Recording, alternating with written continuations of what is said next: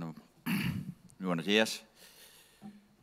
Bueno, comparecemos hoy nuevamente después de la sesión del Consejo de Gobierno que se ha dedicado hoy eh, en exclusiva a analizar la situación sanitaria eh, y la aplicación de las medidas en nuestra comunidad. En primer lugar, lo que queremos hacer antes de ninguna otra cosa es agradecer y agradecer públicamente a los ciudadanos de la zona básica de salud de Iscar y de Pedrajas el excelente eh, comportamiento que han tenido durante el confinamiento que finalizó este fin de semana y que nos ha permitido eh, rebajar la incidencia en esas zonas. Agradecimiento que también queremos hacer extensivo, eh, por supuesto, a los ciudadanos y a la alcaldesa de Aranda de Duero. Saben que nosotros vamos a solicitar continuar hasta cumplir los 14 días eh, el confinamiento, pero eh, ya tenemos datos de una incidencia que está en disminución también eh, en, esta zona. Es una incidencia más alta que la que teníamos en Iscar, pero las cosas están yendo razonablemente, razonablemente bien. con respecto a la situación general de la comunidad, en los datos de, de ayer aprobados por el Ministerio, nosotros seguimos colocados en las zonas de incidencia más bajas eh, de la media nacional. Estamos en el puesto 13 ayer, si no recuerdo mal, incidencia acumulada eh, con síntomas en los últimos siete días. Eh, he de decirles que esto no nos consuela. nosotros vemos que la incidencia sigue subiendo, pero los datos, y ahora lo corroborará la consejera,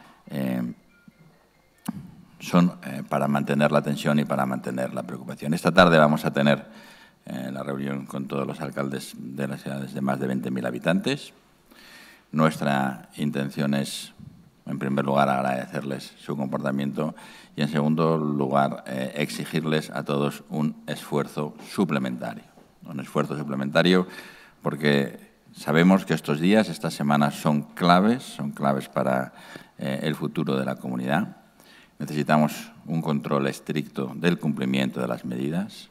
No puede ser eh, que porque una mínima, mínima parte de la población no cumpla las medidas, todos eh, tengamos que pagar las consecuencias.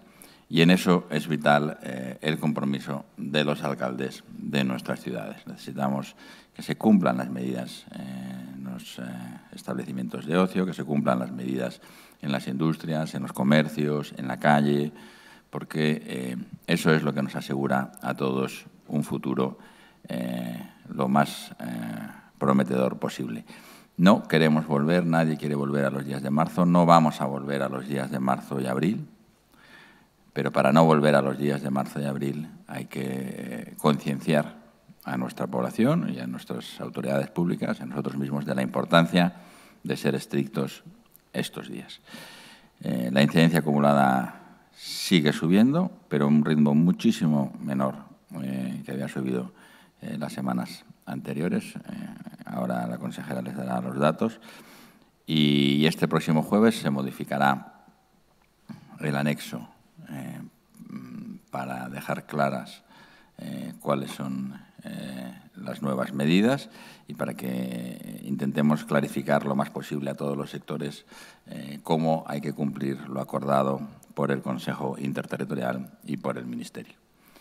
En resumidas cuentas, eh, la situación mejora, la situación mejora, el ritmo de incremento de casos mejora en la comunidad, sigue habiendo un incremento de casos, pero a un ritmo menor eh, una curva con menor pendiente que la que teníamos hace dos semanas, pero insistimos que es muy importante eh, que todos, todos es desde la Administración Autonómica hasta todas las administraciones y todos los ciudadanos cumplamos con nuestras medidas.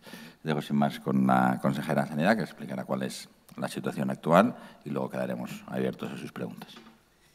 Muy buenos días a todos. Eh, después de los 99 eh, días que estuvimos en una situación de estado de alarma, llevamos 59 días en esta situación de, nueva normalidad. Antes de seguir adelante, quería eh, agradecer como ha hecho el vicepresidente, a las corporaciones eh, municipales de Castilla y León, en general a todas, porque yo creo que están eh, todas eh, preocupadas y todas trabajando para intentar minimizar al máximo posible los contagios que puede haber del coronavirus, pero también especialmente a la labor que eh, han hecho en, en, Iscar y en Pedrajas, que ha sido absolutamente extraordinaria, y a la labor que se está haciendo en Aranda de Duero. Quiero también agradecer a los cuerpos y fuerzas de seguridad del Estado, a la Policía Local, a la Guardia Civil, a la Policía Nacional, eh, el seguimiento que están haciendo en los diferentes lugares de, su trabajo y de su influencia, la aplicación del acuerdo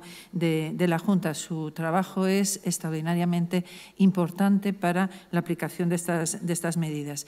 Y también quiero, eh, como no, agradecer el trabajo eh, también absolutamente extraordinario que están haciendo los responsables de seguimiento epidemiológico, ya sea eh, tanto de salud pública como de los equipos de atención primaria en las funciones de rastreo, porque probablemente la clave por la cual nosotros nos encontramos en tasas de incidencia que no son altas comparadas con otras comunidades autónomas tiene mucho que ver con el esfuerzo y el trabajo que todos están haciendo. Y sabemos además que no es un trabajo fácil, que es un trabajo complejo, pero en su mano está el que eh, están consiguiendo que, eh, bueno, hacer que los contagios eh, se frenen de una manera importante. En las últimas 24 horas se han notificado 585 eh, casos nuevos, todos por PCR, salvo uno que es confirmado por, por ELISA. Eh, la distribución por provincias es en, en, Ávila tenemos 28, en Burgos 208, en León 14, en Palencia 17, en Salamanca eh, 84, en Segovia 39, en Soria 48, en Valladolid 135, en Zamora 12. Eh, los casos eh, diagnosticados del día previo con síntomas, uno en Ávila, 11 en Burgos, 5 en Palencia, 1 en Salamanca, 1 en Segovia y 5 en Valladolid. Por lo tanto, el, número de casos activos en el momento actual en la comunidad detectados en los últimos 14 días son 3.021.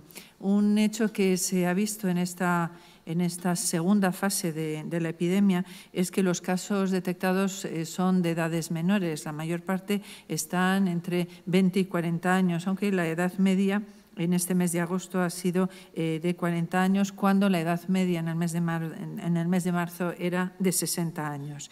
Ahora mismo, como pueden comprobar por la información diaria que publicamos en el portal de, datos, que luego volveré a hablar del, del mapa, eh, las zonas básicas con mayor incidencia por tasa de PCRs por 10.000 habitantes en los últimos siete días son la zona de Aranda, entre 45 y 81 casos por 10.000 habitantes. Hay otras zonas que presentan aumento en su incidencia, como son Sacramenia, Villarcayo, Cantalejo, Roa de Duero y varias zonas urbanas de Valladolid, Burgos y Salamanca fundamentalmente eh, sin que ninguna de ellas, por el momento, a día de hoy, en este momento, se pueda decir que existe transmisión comunitaria. Como ustedes saben, la transmisión comunitaria es una de las claves, junto con el número de casos incidentes, eh, para tomar decisiones de eh, confinamiento.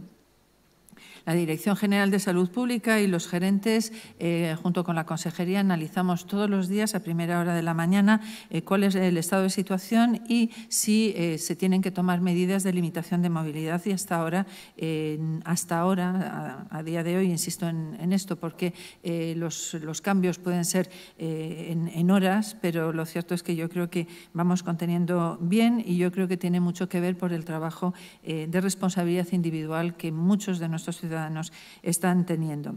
En la última semana, eh, con el aumento de casos, hemos aumentado el rastreo de contactos y pruebas de detección. En los últimos siete días, desde el martes 11 hasta ayer, hemos realizado 33.560 PCRs y esto es, una, es la táctica que nos está eh, ayudando para detectar y aislar casos, especialmente en aquellos pacientes que son asintomáticos y hay un porcentaje muy importante de pacientes que lo son, casi el 70% 50%.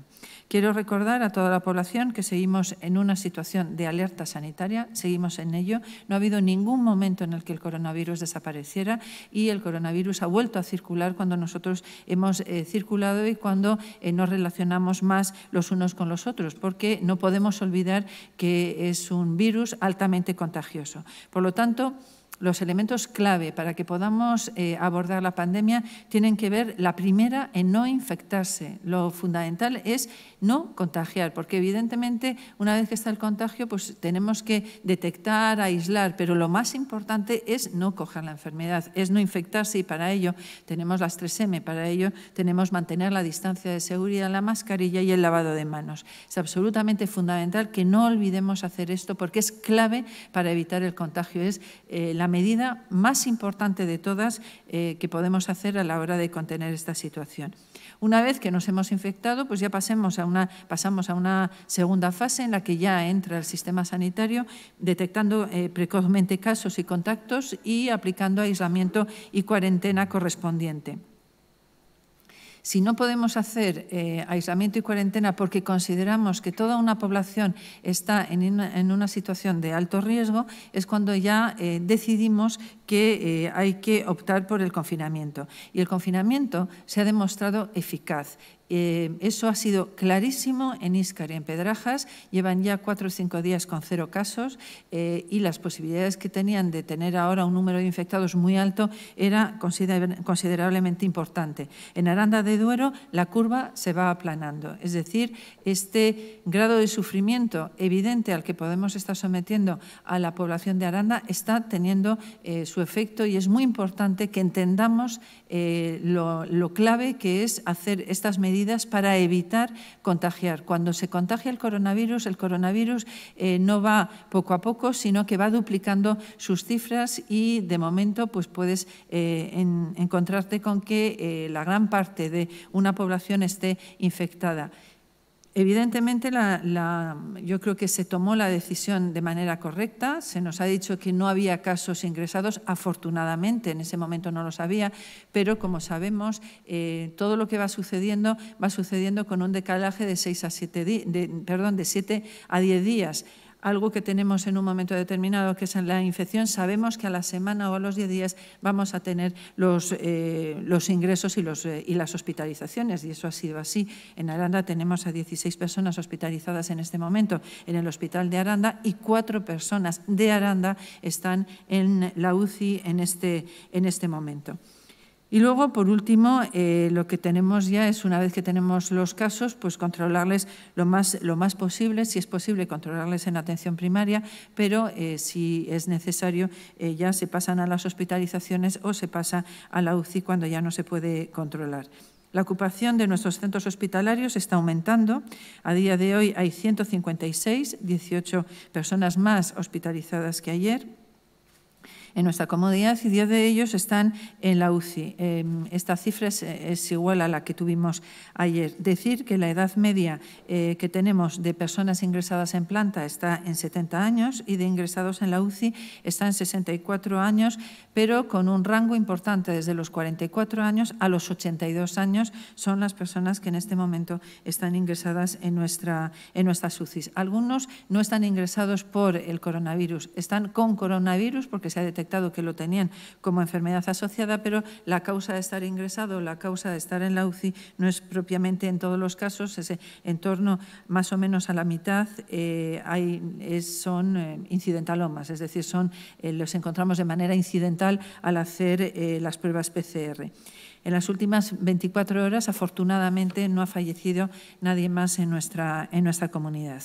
El viernes, como saben, tuvimos una, reunión, como se les ha comunicado, eh, el Consejo Interterritorial del Sistema Nacional de Salud. Todas las consejerías de sanidad adoptamos el acuerdo del Consejo Interterritorial. Esto se tradujo en, finalmente en una orden por parte del Ministerio y en un acuerdo, el Acuerdo 43-2020 de 15 de agosto de la Junta de Castilla y León, por la que se daba publicidad por generar, para eh, generar eh, conocimiento y por ser de obligado cumplimiento a la orden comunicada por el Ministro de Sanidad el 14 de agosto de 2020.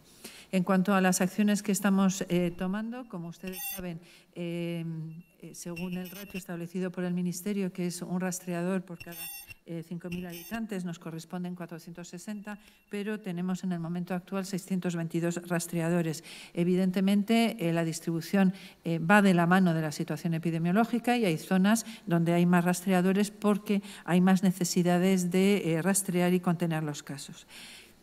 Eh, yo en este momento quiero hacer una reflexión fuera del COVID y es una reflexión que a mí me preocupa enormemente y es en relación a las agresiones.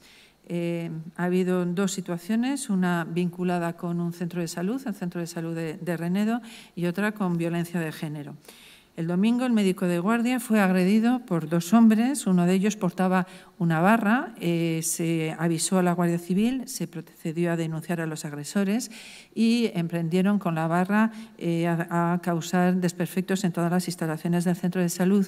Y eh, esto no es lo más grave, que lo es lo más grave es la crisis de ansiedad, la crisis de angustia que se genera en profesionales sanitarios que están trabajando para la salud de los profesionales. El hecho fue tuvieron que salir porque hubo una urgencia y bueno, las personas que les agredieron no estaban dispuestos a seguir esperando para eh, que se les realizara la PCR. Y esto no puede ser de ninguna de las maneras. Hay que eh, proteger a nuestros profesionales. Nuestros profesionales están trabajando para nuestra salud y esto no lo, no lo vamos a consentir ni lo podemos consentir de ninguna de las maneras. Desde luego, tolerancia cero con eh, cualquier actitud agresiva. Y desde luego, un apoyo total y absoluto a los profesionales de ese centro de salud y a todos los profesionales sanitarios que eh, se están dejando, eh, yo creo que su, salud en algunos casos eh, para trabajar por nosotros, para trabajar por nuestra salud. Por lo tanto, lo menos que les podemos dar es un respeto absoluto a su trabajo. Y en cuanto al otro aspecto que a mí me preocupa, está en relación a, la violencia de género. Esta pandemia está siendo doblemente dura para muchas mujeres porque evidentemente para todos nosotros nuestro hogar, nuestra casa es un lugar de confianza, debe ser un lugar de cariño y protección para muchas mujeres y para muchos eh, hijos e hijas y si esto supone lo contrario y el confinamiento obligado eh, hace que por las circunstancias sanitarias estas mujeres estén eh, más cerca del, del agresor, pues aumenta el riesgo de que haya situaciones de mayor violencia en las mujeres. Esto fue el caso ocurrido en Segovia, un terrible crimen que desde luego nos entristece y que eh, condenamos enérgicamente. Y desde luego debe, mejorar, debe servir para mejorar todas nuestras actuaciones y para que eh, sientan nuestras mujeres que eh, mujeres que están en esta situación, que estamos a su lado y que estamos para ayudarles. Los y las sanitarias debemos mostrarnos como los profesionales cercanos y de confianza para muchas mujeres supervivientes de la violencia de género y evidentemente nos tienen que sentir así. Desde los servicios sanitarios estamos trabajando tanto en el confinamiento como en la desescalada para sensibilizar a los profesionales sanitarios sobre las posibles señales de alarma que puedan observar en las consultas. También se ha eh, apoyado y se ha promovido el apoyo proactivo a mujeres que están en condiciones de vulnerabilidad o riesgo previo con llamadas de ofrecimiento de ayuda para romper el aislamiento. Sabemos que todos los servicios de apoyo a víctimas sanitarios, eh, sociales, policiales, han seguido funcionando con normalidad, recibiendo y cuidando a las mujeres que así lo han solicitado. Desde luego, lo que estamos trabajando es para mejorar la coordinación entre sanidad y servicios sociales para eh, proporcionar las mayores garantías de seguridad y protección frente a, la pandemia a las mujeres y a sus hijos que eh, necesiten apoyo o servicios de acogimiento. Como se ha dicho aquí, este domingo en Iscar y Pedraja se ha levantado el aislamiento y estamos muy satisfechos porque en los últimos días no han tenido ningún caso nuevo y eso es extraordinariamente importante. En relación a Aranda de Duero, se ha solicitado desde la Consejería mantener el, confinamiento los 14 días preceptivos para ello y hemos remitido a la autoridad judicial informes que lo, que lo justifican.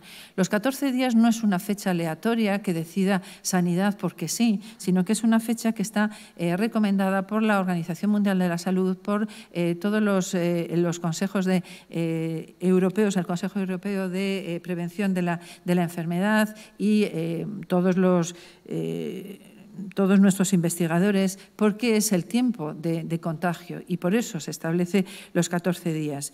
Tenemos que eh, saber que en la definición de brote que se establece eh, en el documento de estrategia de detección de precoz y vigilancia y control eh, del COVID-19, actualizado el 9 de julio del Ministerio de Sanidad, se considera que un brote está abierto durante dos periodos consecutivos de contagio, es decir, durante 28 días. Y el brote cerrado es cuando no ha habido ningún caso nuevo en esos 28, 28 eh, días. La evolución de la incidencia en Aranda de Duero ha sido incremental durante los primeros días de aislamiento.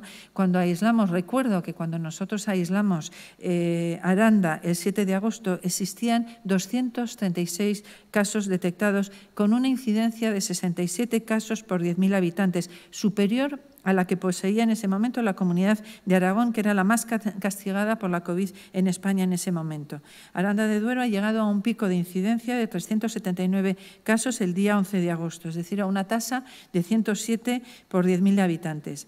Hoy tenemos una tasa de 52 casos por 10.000 habitantes. Hemos tenido los 184 casos positivos en los últimos eh, siete días. Estos, datos de desaceleración del crecimiento, eh, de la estabilización de esa curva, nos hacen eh, ser optimistas y considerar que estamos consiguiendo contener el brote. Pero hay que mantener la vigilancia evolutiva en las próximas 48 horas para ver qué sigue pasando y si seguimos bajando eh, esos casos. Evidentemente, necesitamos la colaboración de todo el mundo, necesitamos la colaboración de eh, la corporación local, necesitamos sobre todo la colaboración de las personas. Si no entendemos que tenemos un problema muy importante, un problema que mata, un problema que hace que ingresen las personas, un problema que nos puede hundir como comunidad autónoma y que nos puede hundir como comarca y nos puede hundir como pueblo, pues evidentemente estamos no entendiendo el problema y que a veces es mucho mejor tener 14 días de aislamiento que no condicionar una epidemia que nos bloquea durante meses eh, a, toda, a toda una zona que se puede llegar a extender. Por lo tanto, es importantísimo que eh, lleguemos a, controlar estos casos. Estamos eh, vigilando que eh, no haya eh, transmisión comunitaria para no tener que confinar más, más, sitios, pero evidentemente podemos llegar a confinar más sitios porque ya he comunicado cuáles son los sitios que a día de hoy nos preocupan por eh, los datos que tienen. Tenemos en este momento 145 brotes activos con 820 casos acumulados. Por lo tanto, es esencial que no bajemos la guardia. Es esencial que las celebraciones de familiares y amigos las hagamos con distancia, las hagamos lavando las manos, las hagamos utilizando, eh, utilizando nuestra mascarilla eh, y eh, evitar en la medida de lo posible no en la medida de lo posible, porque ya es el marco legal lo establece así, que no haya aglomeraciones de más de 10 personas. Es importante para poder establecer las medidas de prevención y de protección. Desde hace unas semanas la Junta aprobó una serie de, sanciones por incumplimiento de las normas en materias de prevención y de protección de, la COVID. Eh, como ustedes saben, 100 euros de sanción es el mínimo y, por ejemplo, no utilizar mascarilla cuando se debe utilizar pues eh, puede ser sancionable con 100 euros, pero eh, las sanciones pueden llegar a 600.000 euros si nuestra actuación puede conllevar eh, que haya más de 150 personas que estén afectadas por la enfermedad. Por lo tanto, es importante que tengamos que estemos todos informados, que, estemos, que tengamos todos claro que en nuestra mano tenemos las posibilidades de cortar lo más importante, que es el contagio. Les he enseñado antes el mapa. El mapa, nuestro ideal es que nuestro mapa fuera verde, es decir, que no hubiera casos en los que tuviéramos que proceder al amarillo, que significa que tenemos algún caso más, o proceder al naranja o incluso al rojo, que es cuando tenemos transmisión comunitaria. Esto es lo que tenemos que conseguir entre todos. Eh, esta información está en el portal consúltenla todos los días eh, para que sepan cuáles son eh, las, actuaciones que tienen que, hacer. Eh, cuando estamos en verde, lo que tenemos que hacer es lo que sabemos todos, evitar las aglomeraciones, evitar eh, no eh, utilizar la distancia entre personas, el lavado de manos y la mascarilla.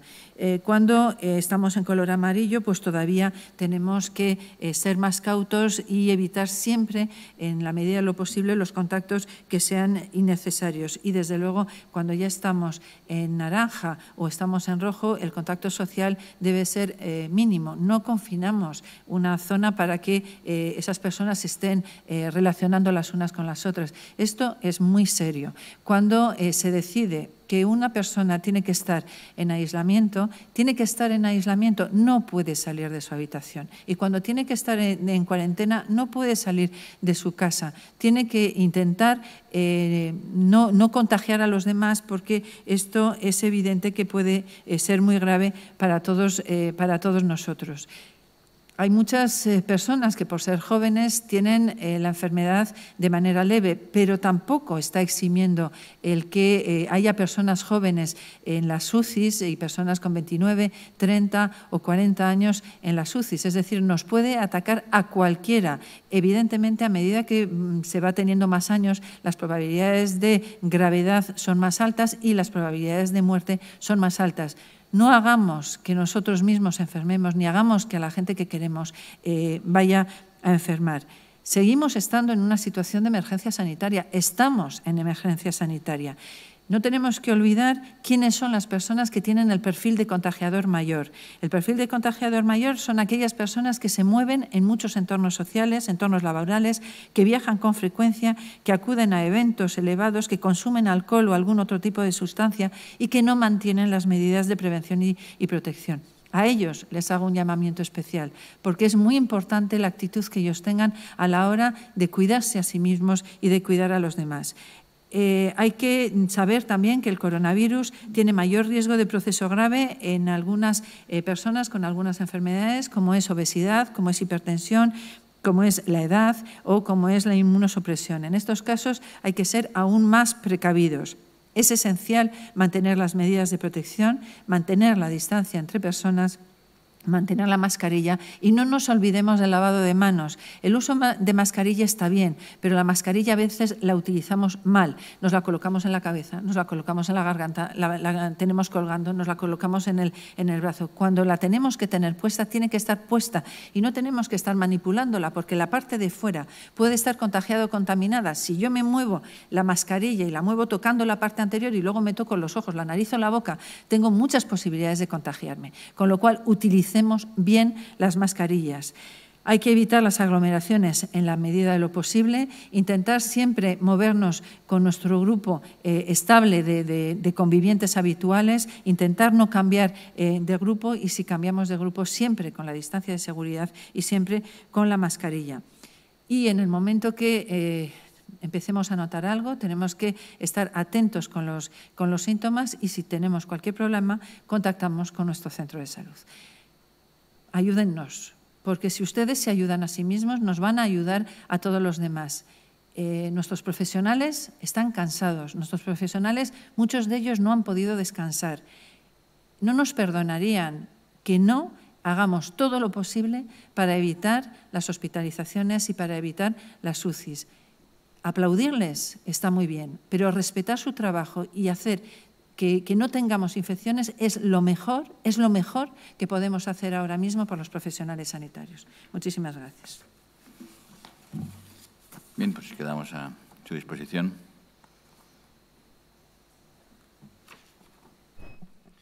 Sí, yo quería preguntarles si consideran tomar algún tipo de medidas adicionales a las ya, las ya adoptadas y la posibilidad de tener también un mando único como tienen en el País Vasco por ley. Bueno, nosotros tenemos un mando único aquí, que, está aquí en mi izquierda. Eh, medidas adicionales. Mire, todas las medidas están contempladas, lo hemos dicho ya muchas veces. Este jueves, insisto, vamos a clarificar el anexo, para que quede bien claro eh, cómo se aplican algunas de las cosas eh, aprobadas por el interterritorial, pero todas las medidas están planteadas. Y, lo hemos dicho y lo hemos hecho ¿eh? y lo hemos demostrado. Nosotros vamos a tomar todas las medidas que sean imprescindibles según eh, el estado de evolución de la pandemia. Hemos reclamado, yo creo que los días pares el presidente, los días impares el vicepresidente y casi todos los días la consejera, la necesidad de tener herramientas que nos permitieran tomar las decisiones que hemos tomado. Eso no ha sido óbice para que no las tomemos. ¿eh? Nadie tiene que tener la menor duda de que si es imprescindible, tomaremos las medidas que sean necesarias. No queremos tomarlas, porque lo que queremos es no llegar a esa situación. Por eso hoy nos vamos a reunir con los alcaldes para pedirles eh, que extremen la vigilancia en nuestras ciudades, que es probablemente ahora mismo las situaciones que más nos preocupan. ¿eh? Cuando a la gente le decimos, como muy bien ha dicho la consejera, y ponemos en el mapa una zona que está naranja o, que está en amarillo, lo que, cuando decimos hay que restringir el contacto social es que hay que restringirlo al máximo posible. ¿eh? Nosotros sabemos que hay una manera segura de acabar eh, con, el contagio, que es el confinamiento total. La gente le metas en casa 15 días a todo el mundo y se acaba. no queremos hacer eso, porque lo que queremos es que la gente extreme las medidas. ¿eh? Pero cuando una zona está en confinamiento o cuando una zona está en zona naranja, la gente tiene que entender que restringir el contacto social eh, no, es, eh, no es una opción, es una obligación. ¿Por qué? Porque si no hacemos las cosas ahora, el daño económico y social y sanitario será muy superior. Pero es que va a ser muy superior al que tuvimos en marzo. ¿eh? por una razón. Porque, como muy bien ha explicado eh, la consejera, el personal, personal sanitario, está al límite de sus fuerzas. Al límite de sus fuerzas. ¿eh? Y nosotros no podemos pedirle más de lo que ya les hemos pedido. Entonces, no podemos volver a tener una situación así. Por no hablar, como muy bien ha dicho, de situaciones de agresión que son ya absolutamente intolerables sobre lo que nosotros bueno, daremos todo el respaldo posible a nuestros facultativos y al personal sanitario que trabaja. Entonces, medidas adicionales sobre la mesa, todas, todas, no descartamos ninguna. En esa aclaración del anexo que ha hablado, ¿nos puede decir un poco en qué sentido va a ir? ¿Qué, se va a aclarar a qué Bueno, hay que aclarar qué tipos de locales están eh, afectados por las restricciones, eh, qué tipo de eventos, cómo se eh, regulan los eventos. hay varias peticiones de muchas asociaciones y también de empresarios particulares que nos piden aclaraciones y nosotros lo que vamos a hacer es, le hemos pasado ya el trabajo a los secretarios para que se vaya redactando y para el jueves poder tener la modificación del anexo completa. Sí, en la reunión de esta tarde hay alcaldes que esperan eh, que la Junta les explique cómo va a ser la vuelta al cole. Yo no sé si tienen pensado ya qué les van a decir. Bueno, la consejera de Educación mañana creo que tiene un acto en el que va a precisar eh, más este asunto. Insisto, nosotros podemos decir lo que está en nuestra mano, pero hay cosas que están en manos de, una decisión eh, que depende de un Consejo Interterritorial y de una reunión de presidentes y no, podemos decir, desgraciadamente, lo que no eh, está en nuestra mano. Sí, sobre la herramienta que esperan que se les dote por parte del Gobierno, no sé si han tenido alguna novedad, de si ha habido alguna conversación que les lleve a ser optimistas en ese sentido. Y por otro lado, sobre la aplicación eh, móvil, no sé si ha habido alguna novedad, si cuándo mm, pretenden que esté operativa en el territorio de Castilla y León. Pues eh, sobre la herramienta, si quieres. El móvil, eh, ustedes saben que se ha, se ha hablado de ella, se ha publicitado mucho, pero ayer mismo escribí un WhatsApp al, al ministro solicitándole que nos mandara el kit, lo que llaman ellos el kit de bienvenida, que es el que nos permite enlazarnos todos con todos, porque si no va a ser, está muy bien tener la PP, pero si no la tengo a una base de datos en la que me permita eh, poder tener información, pues va a ser complicado. Yo tengo la sensación que probablemente a ver si en la primera quincena de, de septiembre podemos tenerla absolutamente operativa. La primera parte, ¿cuál era? ¿Cuál era la primera parte? La herramienta, si hay alguna... alguna ah, bueno, no, no hay, ninguna, no hay ninguna novedad a este respecto, pero bueno, quiero decir, eh, pudiera darse la situación, que esperábamos que no, en la cual pues, eh, tuviera que llegar a, a, una situación en la que se pidiese un estado de alarma regional, que eso es posible, está en la ley, ¿eh? no para volver naturalmente a la situación de marzo, ni mucho menos, ni para cambiar ninguna de las situaciones eh, que tenemos actualmente, pero sí para tomar decisiones eh, de acuerdo pues, a la gravedad que haya en algunas zonas en concreto. ¿eh? Por tanto, nosotros, insisto, no hemos descartado nada, no se ha proporcionado la herramienta que se pidió, no se ha proporcionado la herramienta que se dijo que, iba a haber legal. Desgraciadamente, este no es un asunto em, que nos afecte a nosotros solamente. Hay, ustedes han oído presidentes eh, y consejeros de otras comunidades, de Galicia, de Aragón, de Cataluña, que están en la misma situación.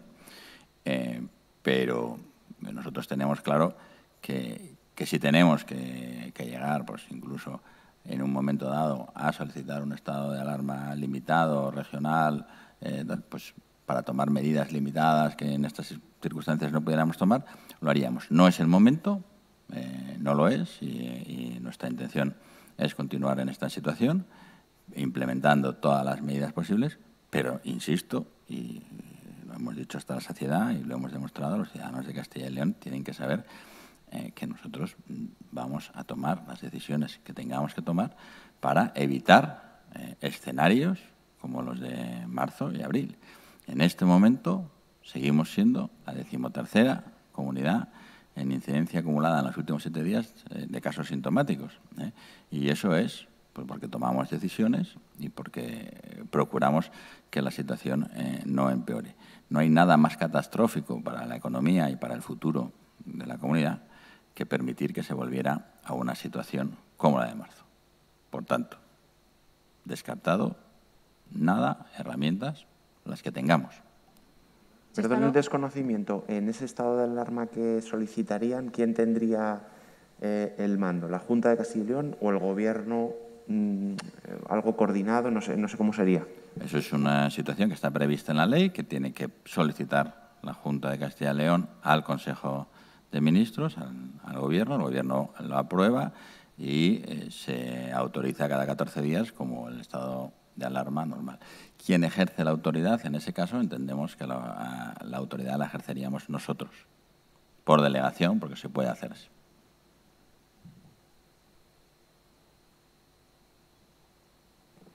¿Y ahí prevén algún tipo de, problema legal o de encaje legal en la ley? O... No, no, eso está previsto en la ley. Está previsto en la ley del Estado de Alarma. Pero afectaría, afectaría a la comunidad o mm, por provincias también podría ser. Puedes. una cosa es que tú tengas la herramienta, que es el estado de alarma, y otra cosa es el tipo de decisiones que tomas y en los territorios en los que las tomas. ¿eh? Es decir, tú puedes tener el estado de alarma y no tomar ninguna decisión y seguir eh, en la misma circunstancia, o tomarlas en eh, zonas geográficas delimitadas. No significa, eso la gente lo tiene que entender, que volvemos, ni mucho menos, a la situación anterior, sino significa que tenemos una herramienta para tomar decisiones si viéramos que con las que tenemos no es suficiente. ¿eh? Pero en este momento, insisto, nosotros no nos lo hemos planteado, pero lo que sí que queremos dejar claro es que vamos a tomar las decisiones que tengamos que tomar si, eh, la situación lo hace preciso, ¿eh? como hemos hecho hasta ahora, porque esa es nuestra obligación, es la obligación de una administración sensata. Sí, yo quería preguntar por si les preocupa la situación que hay en las comunidades limítrofes. Eh, Euskadi habla de un, de un, tsunami, de un posible tsunami y demás. Y también quería preguntar, en el caso de la agresión a los sanitarios, si la Junta tiene pensado elaborar algún tipo de herramienta de protección, sancionar de forma más grave a aquellos que agredan o amenacen a los sanitarios o alguna cosa de esas. preocupa lo que nos rodea, evidentemente, como no. Eh, estamos en el medio de, varias zonas de, epicentro, es decir, estamos eh, cerca eh, de Aragón y hay mucha relación de alguna de nuestras provincias con, con Aragón, País Vasco, Madrid, pues claro que nos, nos preocupa, pero bueno, también es verdad que con las medidas que estamos haciendo de, contención, pues está, se está, de alguna manera, ese tsunami lo que estamos intentando trabajar todos es para que no nos arrastre, es decir, para hacerle, eh, bueno, pues hacerle el, que sea lo mínimo posible y que sea, que sea manejable, porque aquí es, es, evidente, a medida que vas teniendo más casos, más posibilidades tienes de hospitalización y UCI. Si tú controlas el número de casos y les dejas en un número eh, pequeño, pues esas posibilidades, eh, bueno, se retrasan. Por eso es tan importante evitar los contagios. No podemos seguir subiendo. Entonces tenemos que tener mucho cuidado con los movimientos eh, tenemos más de 100.000 tarjetas sanitarias que nos vienen de otras comunidades autónomas que han venido. Desde el 1 de marzo hasta aquí tenemos más de 130.000 personas con tarjeta sanitaria, lo que esto puede suponer que hay muchas personas que no han cogido la tarjeta sanitaria y han venido. Entonces, y vienen precisamente de esas comunidades, han venido sobre todo de Madrid, han venido del País Vasco, han venido de, Cataluña y bienvenidos sean, pero hay, hay que tener mucho cuidado con, con, los contagios y hay que tener mucho cuidado sobre todo con, con nuestras personas mayores y nuestros, nuestras personas frágiles. Con respecto a a las medidas adicionales existe un protocolo ya eh, en funcionamiento contra agresiones a sanitarios. Saben que nosotros hubo un momento eh, al principio de la legislatura que nos planteamos la posibilidad incluso de personarnos, pero no podemos hacerlo eh, porque no, no, podemos personarnos como administración pública, pero sí que les aseguro que vamos a protegerles todo lo que podamos protegerles. Pero hay una cosa que sí que queremos y yo sí que me gustaría reseñar. Esta esta gente que ha sido agredida e insultada ayer eh, es la gente a la que hace cuatro meses se le aplaudía. Es la gente que lleva trabajando sin parar meses y meses, viendo muertos, poniéndose un EPI ocho horas seguidas, sudando, pasando uno de los momentos más difíciles que ha pasado nuestro sistema sanitario. Es absolutamente intolerable no solo la agresión, sino que se ponga en duda su profesionalidad, su entrega y su dedicación estos días. Quienes ponen en duda la dedicación, la entrega de nuestros profesionales en esta situación o quienes alientan el malestar hacia ellos, em, no, no hacen lo correcto. Nosotros tomamos las decisiones que tenemos que tomar como Administración Autonómica y nosotros somos responsables eh, y nosotros admitimos todas las críticas. Si alguien tiene algo que decir, que venga y nos lo diga a nosotros. Pero nuestros profesionales, eh, nuestros profesionales se han dejado literalmente y se están dejando literalmente la vida y la salud. Eh. ¿Usted tiene algún insulto, crítica o algo que decir? Pues viene y nos lo dice a nosotros. Pero a esas personas que están dejándose la vida eh, por atender a una población en una crisis sanitaria desconocida en nuestra historia, eh, que han hecho más horas que, nunca, que han pasado más riesgos que nunca, es absolutamente inadmisible, inadmisible, no ya la agresión, sino el descrédito.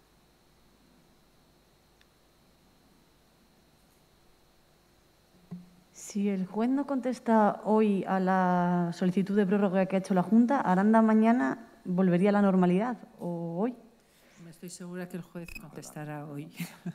Estoy prácticamente segura que, lo hará. No sabemos en qué sentido. Pero no sabemos en qué sentido, pero que, que hacerlo lo hará seguro.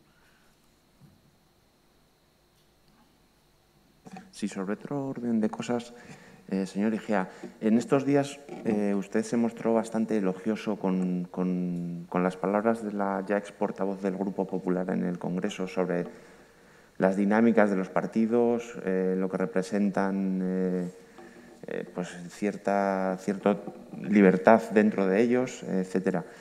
esa entrevista ha acabado mal para, para ella, ha sido destituida como portavoz. No sé qué le sugiere todo esto y si de alguna manera eh, se siente, no sé. Yo me siento estupendamente. quiero decir, yo sigo diciendo lo mismo que he dicho. Yo creo que ustedes nos han oído decir esto, me han oído decir esto, pues en los últimos dos años, no sé cuántas veces. ¿no? Yo creo que eh, las palabras que eh, dijo en esa entrevista las suscribo de cabo a rabo. En política, liber, expresarse con libertad no es discrepar, no es traicionar. En los partidos tiene que caber eh, todo el mundo. Cuando más gente cabe, más grandes son los partidos, los partidos que son monolíticos y el cesarismo es una de las desgracias de la política de este país. He de decirlo con más claridad. El cesarismo está dejando huérfano de inteligencia la política nacional. Y es un desastre. La incapacidad de admitir la diversidad de opiniones entre los partidos, la inteligencia y el debate, el cesarismo está dejando huérfano de inteligencia la política nacional. Y es un desastre.